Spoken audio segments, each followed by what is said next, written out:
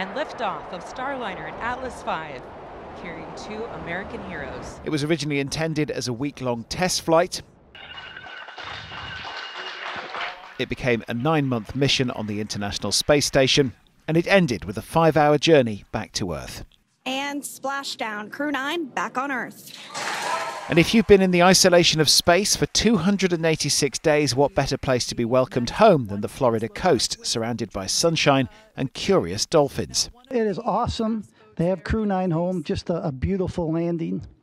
I think many of you heard that uh, back in January, the president asked SpaceX um, what it would take to bring the, this crew home.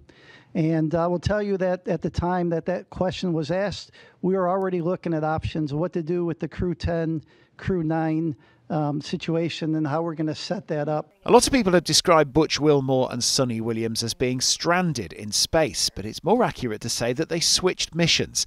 When their Boeing Starliner was unable to bring them home, they became part of the next crew living on board the International Space Station. They've both been to the ISS before, and like any crew, they were engaged in the work of a professional astronaut, keeping the station running. In fact, Williams has now clocked up 62 hours of spacewalks, the longest time ever for a female astronaut. So now they are back home. What next? Well, first of all, they have some acclimatizing to do.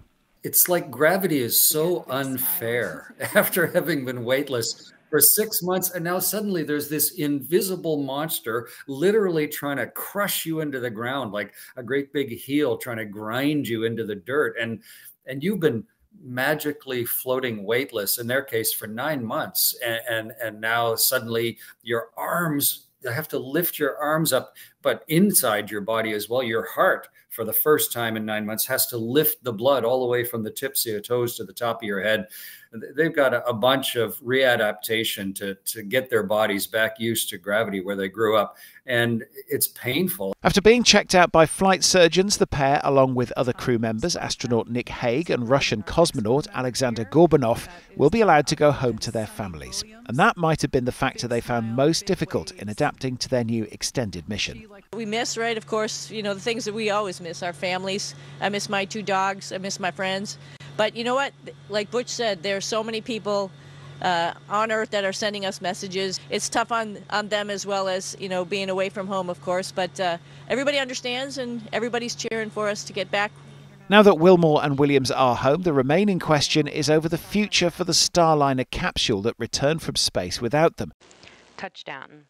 Starliner is back on Earth. Despite the technical worries and other difficulties for the manufacturer Boeing, NASA still hope to launch another, albeit uncrewed, test flight. We're interested in their resilience. That whole Boeing team, like our whole commercial crew program team, is resilient and moving forward to the next steps on Starliner.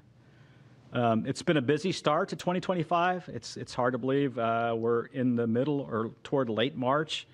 Uh, looking for an exciting summer as well. David Harper, ITV News.